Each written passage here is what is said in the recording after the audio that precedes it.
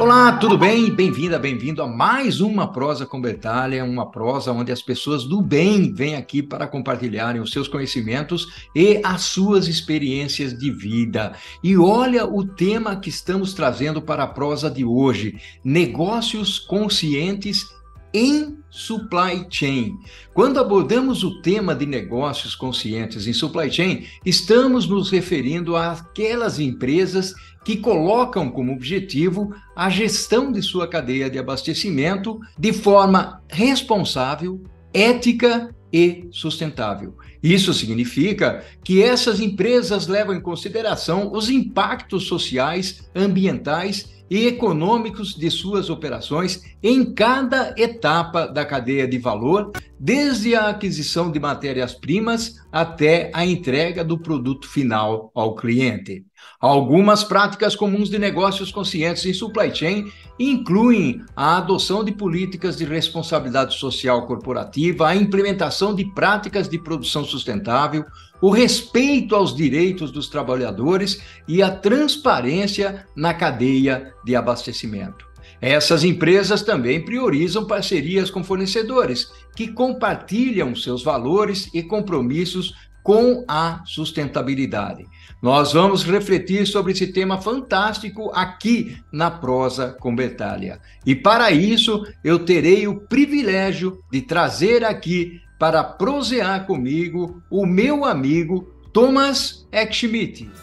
Olha só que honra, que orgulho trazer aqui para a prosa comigo o amigo Thomas. Meu caro, seja bem-vindo à prosa com Bertalha.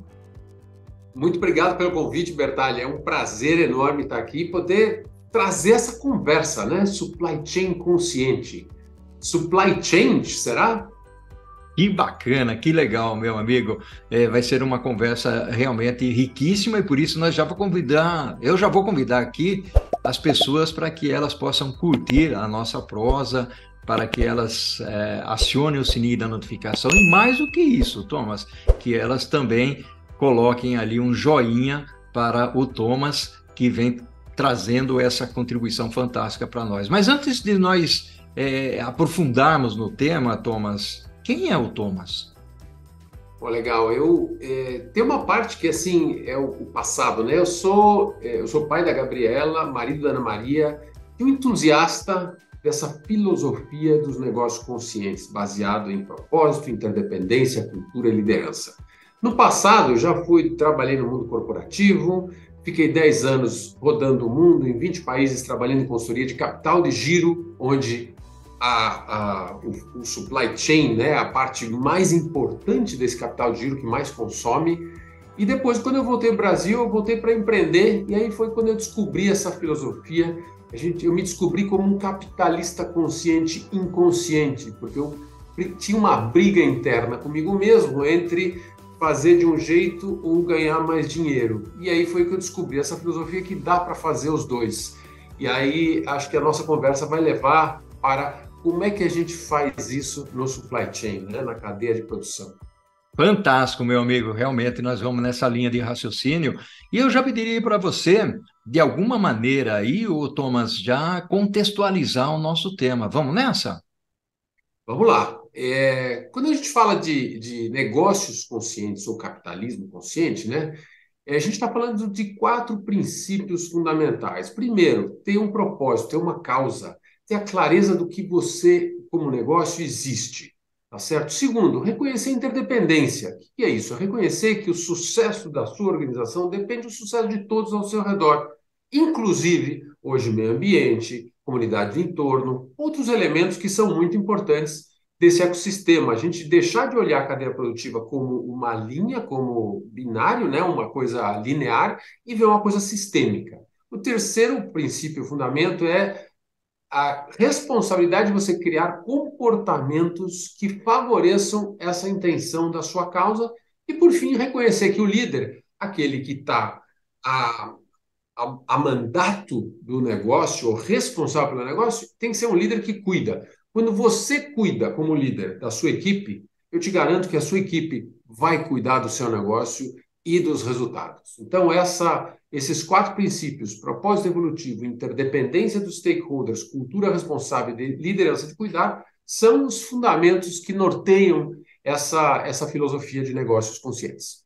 Fantástico, meu amigo. E aí, o, o, Thomas, como é que você encaixa essa parte do, do da consciência, de negócios inconscientes, é, conscientes, dentro dessa característica que nós estamos falando, que é o nosso querido supply chain? Então, uma, é, o supply chain é a parte mais importante do negócio. É praticamente é onde o, o dinheiro flui. O produto ou serviço vai numa direção e o dinheiro vai na outra, tá certo? tirando o governo, os impostos e os dividendos. Mas este é o coração, esse é o. A gente, a gente costuma dizer né, que a empresa. Assim, assim como nós precisamos de globos vermelhos para sobreviver, não significa que o propósito da vida é produzir globos vermelhos.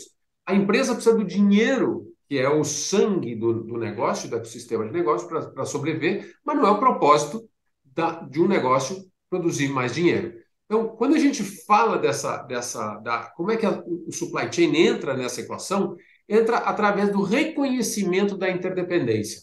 Né? A gente tem casos de fornecedores que quebraram e as empresas pararam e foram buscar o fornecedor do fornecedor e esse se negou a trabalhar. Por quê? Falou, por que, que eu vou trabalhar com alguém que quebra meu cliente para você me quebrar direto? Então, o sucesso, nosso sucesso dentro do supply chain deve ser medido de acordo com o sucesso de todos os nossos parceiros, de toda a cadeia. Se você tiver um ponto, de, um, um ponto fraco na sua cadeia, é ali que vai começar a ruir o seu negócio. Então, a atenção é: está todo mundo saudável? Está todo mundo ganhando bem? Está todo mundo ou tem gente sobrevivendo? Então, essa reconhecer esta interdependência. Nosso sucesso depende do sucesso de todos dentro do nosso ecossistema.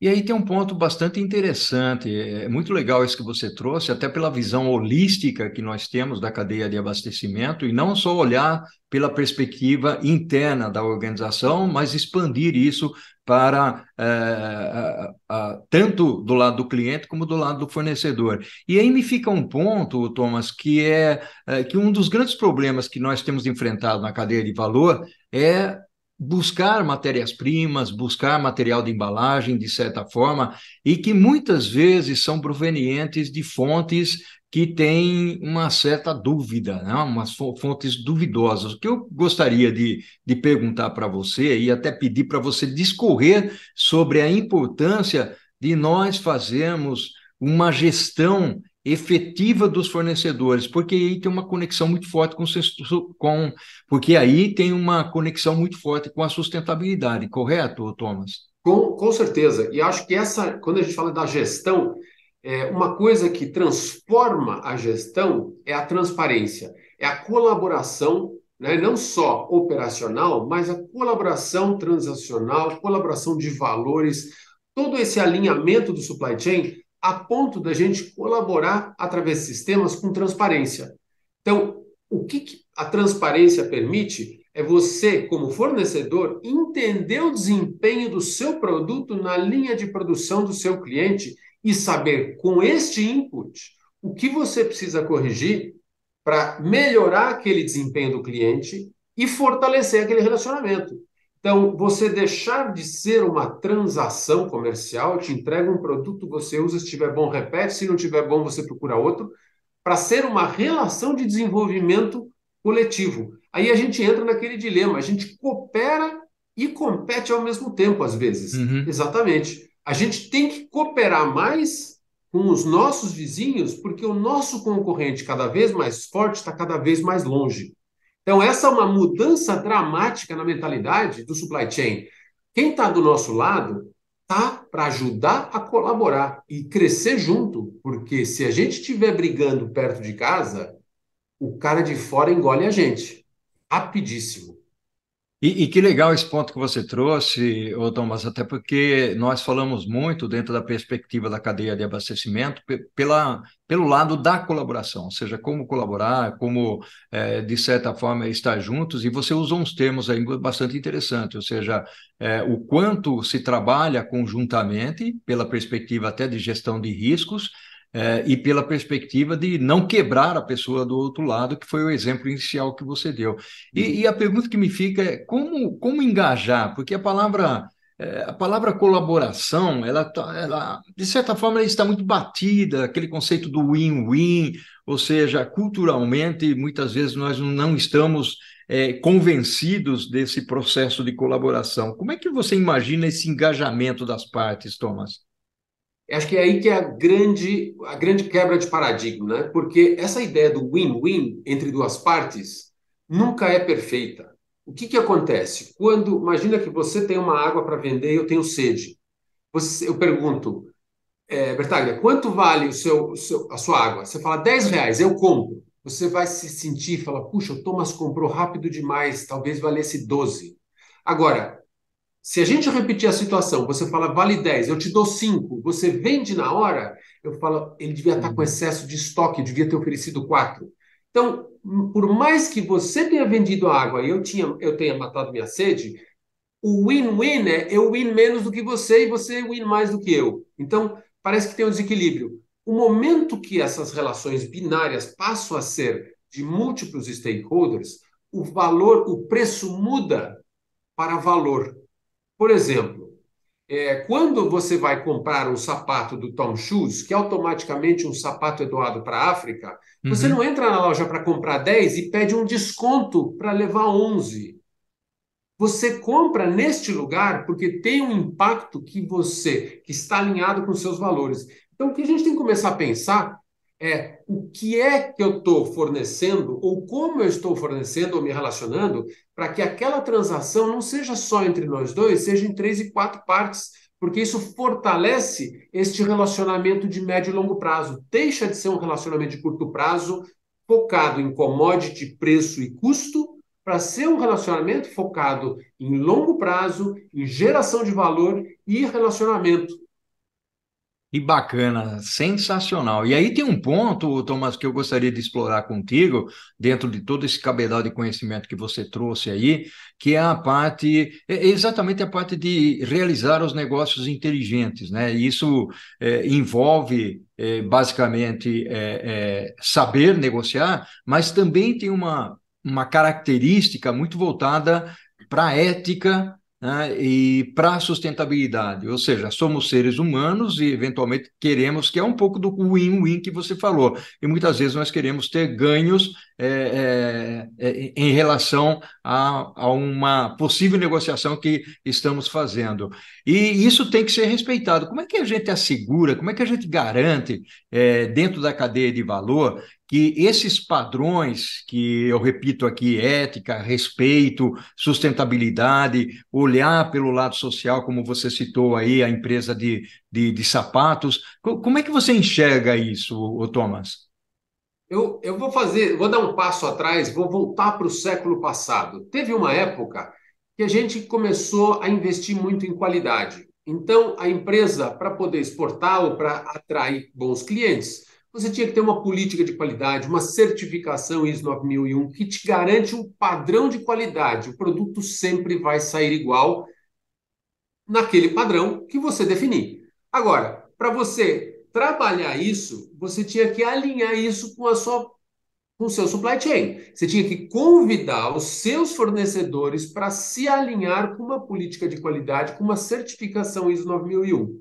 O que está acontecendo nesse momento? A gente está implementando ESG, essas filosofias, mas a gente está deixando a parte mais importante que afeta a gente diretamente fora do jogo. Por que, que a gente não usa a mesma coisa, a mesma estratégia do século passado na filosofia de política de qualidade para ter uma política de ética, de, de, eh, de trabalho embaixo dessa filosofia do, do ESG? Então, se eu estou me certificando, se eu estou implementando projetos, por que, que eu não chamo o fornecedor para fazer igual e acompanhar esse desenvolvimento? De novo, a gente deixa de ter uma relação binária meramente oportuna por custo para ter uma relação de valor, diminuição de risco coletivo do supply chain. A gente está começando a efetivamente reconhecer a interdependência e não a dependência ou a independência. Sou independente do meu fornecedor. Não, eu sou interdependente do meu fornecedor. O que acontece lá, acontece aqui. O que acontece aqui, bate lá. Então, essa, essa forma de olhar, usando a política da qualidade do século passado, da certificação ISO 9001, Vamos trazer para esse século uma nova realidade. A nova realidade é trabalhar de uma forma mais coletiva, mais conjunta, mais cooperativa, envolvendo sistemas num ecossistema só. Então, essa, esse é o convite que eu faço. Esse é, é o modelo de mindset de atualizar o que a gente fazia no século passado para as ideias e as necessidades do século de hoje. Que fantástico, que maravilha. Thomas, meu amigo, nós estamos aqui finalizando o primeiro tempo da nossa prosa, está muito legal realmente, passou muito rápido, eu nem percebi aqui o tempo passar, é, foi fantástico. Thomas, vamos fazer o seguinte, vamos tomar uma aguinha, um café aí, e nós vamos convidar a Corujinha para ela cantar aqui para a gente e a gente já volta para o segundo tempo, pode ser? Pode ser, vamos lá. Olha só que prosa fantástica nós estamos tendo aqui, trazendo o Thomas, conversando conosco sobre negócios inteligentes dentro daquilo que é a nossa área de paixão, que é supply chain. Thomas, meu amigo, vamos seguir esse nosso raciocínio voltado aí para negócios conscientes. E como que a empresa garante, por exemplo, eh, nós vimos muitas coisas acontecendo na mídia ultimamente, mas como é que a empresa ou as empresas garantem que os direitos dos trabalhadores eles são respeitados à luz de negócios inteligentes ao longo da cadeia de abastecimento, Thomas? Uhum. Uma coisa, uma coisa muito importante que é natural a gente ver a terceirização, quarteirização e assim por diante. Né? Mas, é, no final das contas, o que a gente precisa saber é da onde está vindo o nosso produto. A única forma de entender, de ter transparência nisso, são os mecanismos de, de, de rastreamento, de rastreabilidade, tá certo? Acho que uma das coisas que não só é uma ferramenta de monitor, de, de para monitorear o é, monitorar o, o, o, caminho do produto, do serviço, a origem, mas também para ter indicadores que vão acompanhando. E o benefício do rastreamento é você agregar neste, neste varal, por onde passa o produto, alguns indicadores relevantes para você. Fala, bom, se eu estou, vamos lá naquele, no que aconteceu aqui na, na, na, na colheita do, da uva, né, que os trabalhadores estavam em situações extremamente precária de, de alojamento, né? Aquilo se aprende uma vez, nunca mais acontece, porque você começa a fazer uma auditoria ou que as pessoas se autoauditem, né? Quem é a pessoa que está colhendo? Tá o nome fulano, ciclano, beltrano. Onde você dorme? Onde você come? Onde você é, toma o seu banho. Naturalmente, isso vira transparência. É quase que uma, uma rede social privada do caminho do produto. A gente tira foto de tudo, faz selfie, tira foto do que come. Todo mundo tem o celular na mão. Mais fácil que isso, para incluir isso na sua cadeia produtiva, é, não tem. A gente já está no nível de tecnológico tão avançado que permite que isso seja trazido para a realidade como uma medição é, efetiva, uma transparência efetiva da, dos compromissos que a gente tem com a mão de obra e com o meio ambiente. E, e, é bastante interessante isso que você está falando, até porque hoje você mencionou sobre a mídia digital, sobre tecnologias existentes que, de certa forma, amparam e possibilitam que rapidamente as organizações identifiquem o que é que está acontecendo holisticamente ao longo da cadeia é, e se tem alguma coisa, alguma situação de risco e que venha a manchar a, a reputação, a imagem da, da organização. E aí eu queria trazer um, um ponto, o Thomas, como é que você enxerga, por exemplo, que a tecnologia, principalmente o avanço que nós estamos hoje, é, aí já falamos de chat GPT, né, ou seja, inteligência artificial, um avanço significativo, como é que ela melhora essa tomada de decisão das pessoas? Porque eu costumo dizer que muitas organizações que sofrem esse tipo de problema, como é o caso das vinícolas no sul do Brasil, ou mesmo de indústria automotiva recentemente nos Estados Unidos, passando por situações de trabalho infantil, a organização não quer passar por essa situação. Alguma coisa está tá acontecendo, até porque são empresas grandes, não são empresas pequenas.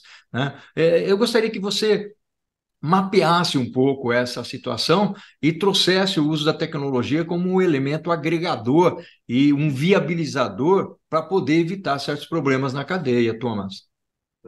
Acho que uma, a gente tem um exemplo é, bastante poderoso agora no Brasil.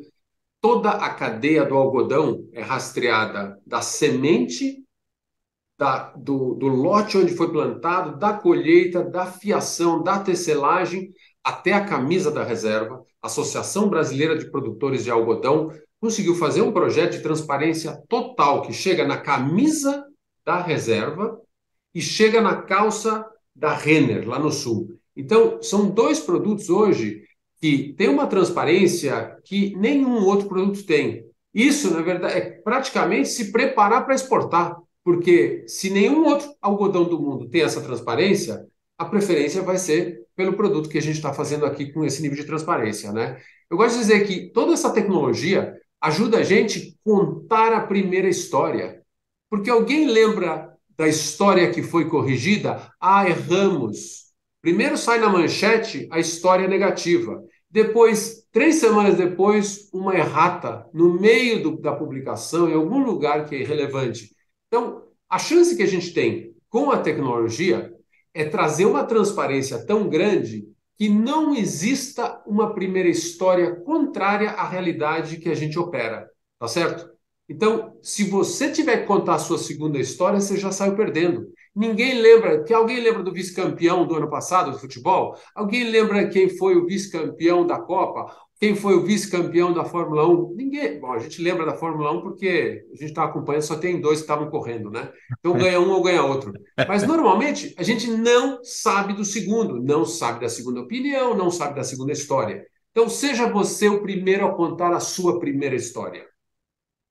Que legal, muito bacana esse ponto que você trouxe, e aí olhando pela perspectiva da, do ESG, que você comentou lá no início, a transparência, é, e, e, eu acredito muito nesse viés de empresas sérias, uh, Thomas, é, na perspectiva de que não vai olhar só pelo resultado da companhia, pelo viés econômico pelo viés financeiro, mas sim pelo viés do meio ambiente, pelo viés do social, ou seja, o social é muito importante. E, aliás, é, nesse nosso país, né, o, a, o país como um todo deve muito à sua população, é, um valor agregado para se fazer alguma coisa a mais pelo social, uma população sofrida que trabalha tanto. É, como é que você enxerga esse contexto é, dentro de negócios inteligentes, né? É, mais ou menos um apanhado do que eu comentei, da, da, sustentabilidade na economia, o lado econômico, o lado social. Como é que a gente pode trabalhar isso para que realmente. Eu vou usar uma expressão aqui, Thomas, não fique bravo comigo, mas a gente fala sempre sobre o país do futuro, né? Nós estamos sempre falando do Brasil, o país do futuro. É, será que é o momento de nós aproveitarmos todos esses conceitos que existem hoje, que, como você disse, já existiam lá atrás, né? Nós passamos um pouquinho de perfume, damos uma outra roupagem e a coisa segue adiante. Mas como melhor aproveitar, já que nós estamos dentro dessa condição? Acho que o, o nosso grande desafio dentro dessa da, da, da situação que a gente vive é a gente começar a pensar de forma sistêmica.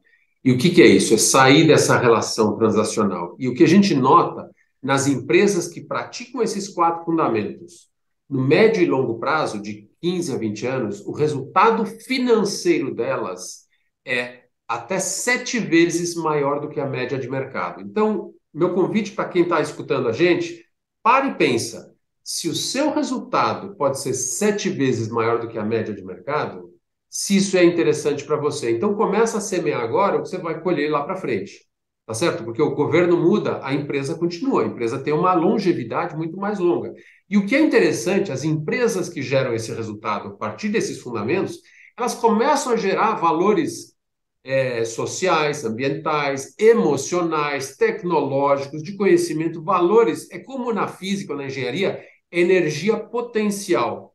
Quando passa uma crise, o cliente, quando pode, vai comprar mais de você. O, o, o colaborador, quando, quando pode, ele vai dedicar mais para você. O, a comunidade do entorno, quando tem que sair em defesa de alguém, vai sair na sua defesa.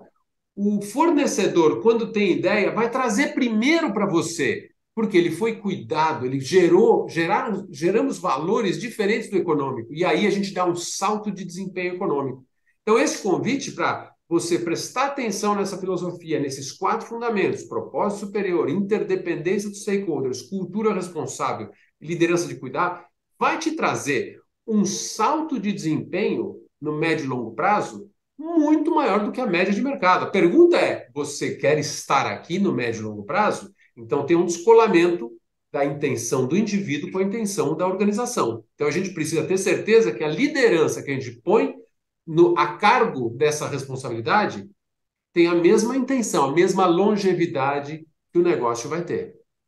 Uau, fantástico, fantástico realmente. E você trouxe pontos aí extremamente interessantes é, no momento que nós estamos vivendo agora. Isso me leva a, a uma outra é, questão, a uma outra situação, que é, por exemplo, dentro da cadeia de valor, nós falamos aqui um pouco sobre fornecedores já, mas é como gerir os talentos, né? Porque quando eu tenho uma empresa que tem reputação, que tem imagem no mercado, é, eu consigo é, mais adequadamente manter os meus talentos e consigo também atrair mais talentos para a organização. Talentos esses que vão divulgar o nome da empresa. Nós temos várias empresas, eu não vou mencionar aqui, mas nós temos várias empresas no mercado que todo mundo gostaria de trabalhar. Concorda comigo, Thomas?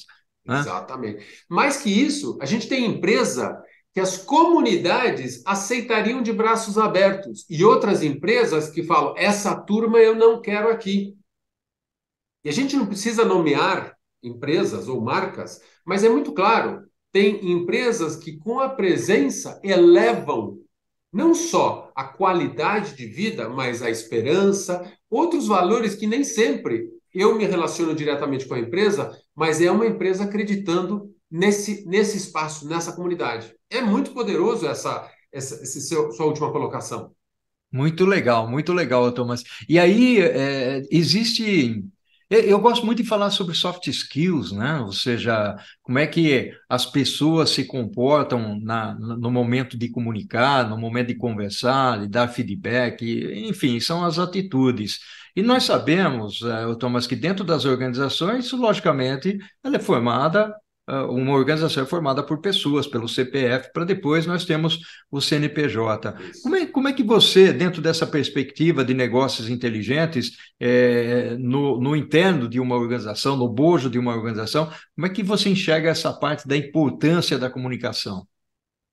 Olha, é, praticamente a a comunicação é o que permeia. E a comunicação, às vezes, não é só verbal, a escrita. A comunicação é a atitude, o comportamento da liderança perante os desafios, as dificuldades, as celebrações, os rituais, o reconhecimento. E mais importante, quando a gente fala de cadeia produtiva, de supply chain, de interdependência, a gente fala em escutar. Porque muitas vezes ideias estão do outro lado o sistema tem capacidade de oferecer e gerar mais ideias do que a nossa própria organização sozinha. Então, quando a gente começa a escutar o cliente, começa a escutar o fornecedor, começa a escutar o colaborador de maneira estruturada, onde não exista represália, não tem ideia ruim, tem ideia não entregue, tem ideia não oferecida, a gente cria um ambiente de que a gente fala de segurança psicológica. E a segurança psicológica o Google fez um, um estudo que é o fator mais importante para equipes e ecossistemas de alto desempenho, onde a pessoa se sente segura a fazer uma contribuição sem consequências positivas ou negativas. Então está aí o papel, de novo, da liderança da comunicação. Não é só, comunicação não é daqui para lá, é de lá para cá. Como eu escuto, como eu pergunto as sugestões, as propostas e entendo da onde vem aquilo, porque às vezes vem de uma forma que eu não entendo, mas entendendo a origem daquela sugestão, eu consigo ajustar para aproveitar melhor esse tipo de sugestão ou comentário que é feito por qualquer um dos stakeholders. Às vezes até a comunidade do entorno, se a gente tiver um canal claro de conversa, a gente recebe ideias. A gente só não consegue receber ideias do meio ambiente. O meio ambiente não te prepara, ele entra em crise. Então, é o único stakeholder do nosso ecossistema que, ao invés de te dar um sinal, um cartão amarelo, reclamar, ele vai entrar em colapso de repente. Você fala, nossa, o que aconteceu? Então, a gente tem que ter formas de estar mais próximo do, do, do da parte ambiental que nos afeta, para que ela não nos afete de surpresa. Olha só, Meu caro amigo Thomas, uma prosa fantástica realmente. Nós estamos chegando ao finalzinho aqui da prosa e eu gostaria que você deixasse aí uma mensagem é, é, relacionada ao tema que nós estamos trabalhando aqui para as pessoas, o Thomas, que acompanham a prosa convertária. Eu vou fazer um convite aqui, se alguém tiver interesse em se aprofundar nesse assunto, a gente tem um material que foi desenvolvido por várias pessoas da Austrália, dos Estados Unidos e por mim, chama Ativador de Negócios Conscientes. É um material gratuito de 90 páginas para você começar a mergulhar nessa filosofia. Então você entra lá no site cdactivator.com e pede, baixa e está ali para você começar a brincar ou explorar esse caminho, né, de trazer mais mais consciência para a forma de atuar o seu negócio. E aí tem um monte de outros livros, mas eu prefiro ficar aqui fazer o convite para você dar o seu primeiro passo de forma segura, com investimento apenas do seu tempo. Que maravilha, meu amigo. Tomás, meu caro, gratidão enorme pela sua participação aqui na Prosa Convertália, ao infinito e além, Tomás. Com certeza, ao infinito e além. Vamos juntos transformar esse supply chain né, em alguma coisa com muito mais poder de gerar valor para toda a sociedade. Muito obrigado. Valeu, meu amigo, e o que nós fazemos em vida ecoa na eternidade. Um abração.